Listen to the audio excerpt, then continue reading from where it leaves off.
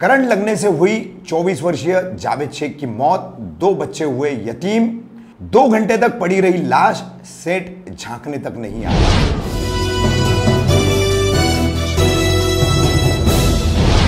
मैं रफीक कामदार, हिंदुस्तानी रिपोर्टर में आपका स्वागत है। मंगलवार 29 जून को उत्तर शिव में गोटे घर परिसर है। गोटे घर में एक कंटेनर बनाने का कारखाना है। यहाँ पर शील फाटा के ठाकुरपाड़ा में मुनीर कंपाउंड है, यहाँ का निवासी 24 वर्ष जावेद शेख काम कर रहा था।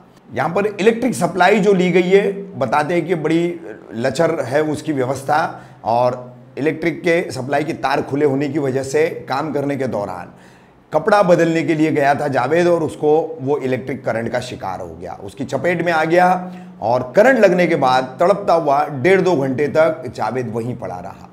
जिस सेठ के पास काम करता है, दो नाम सामने आए हैं। एक सेठ का नाम जावेद है, जो फ़िलहाल आसाम में है, बताए जा रहे हैं। दूसरा सेठ जो है, वो कोई रमीज है।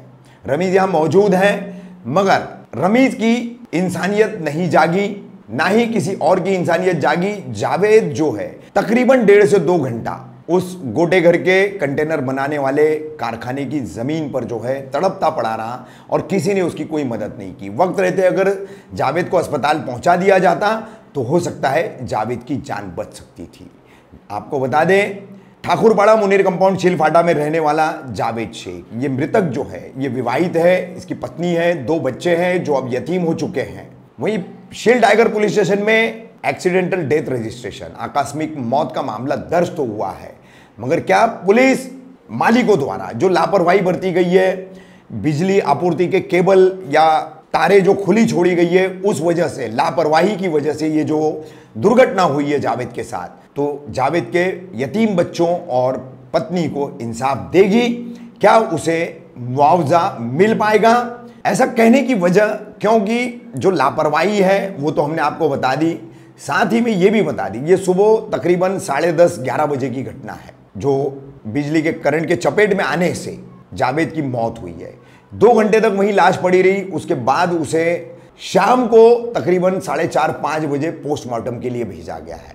इससे साफ़ होता है कि कितनी बड़ी लापरवाही का मामला है और शील टाइगर पुलिस स्टेशन को चाहिए कि मानवीय आधार पर इस मामले की जाँच करते हुए जावेद के परिवार को इंसाफ दिलाए।